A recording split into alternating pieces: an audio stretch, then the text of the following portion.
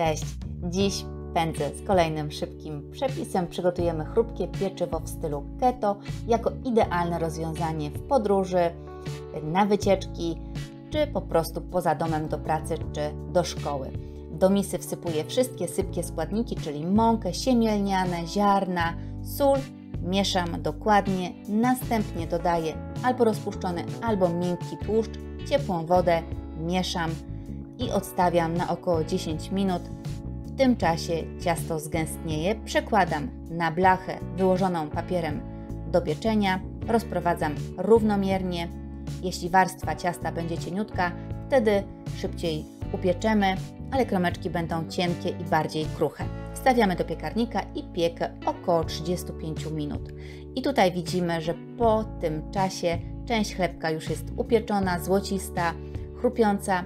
Pozostałą część kroję w kromeczki i jeszcze kontynuuję pieczenie przez około 10 minut. Z masłem smakuje wybornie, także polecam. Więcej prostych pomysłów znajdziesz w moich e-bookach.